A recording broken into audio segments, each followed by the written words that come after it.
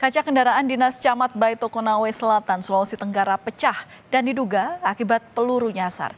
Kendaraan tersebut kerap ditumpangi Supriyani, guru honorer yang dituding menganiaya anak polisi selama menjalani proses hukum.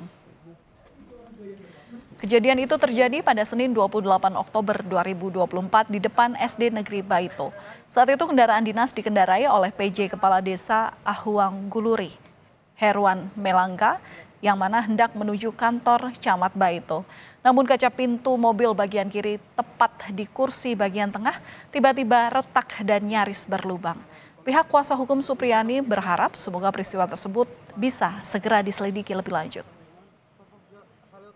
Menyampaikan informasi bahwa dia uh, membawa mobil, sementara membawa mobil kemudian dia mendengar suara yang keras gitu menghantam mobil, suara keras menghantam mobil. Kemudian e, berhenti dan melihat bahwa ada benturan di kaca mobil.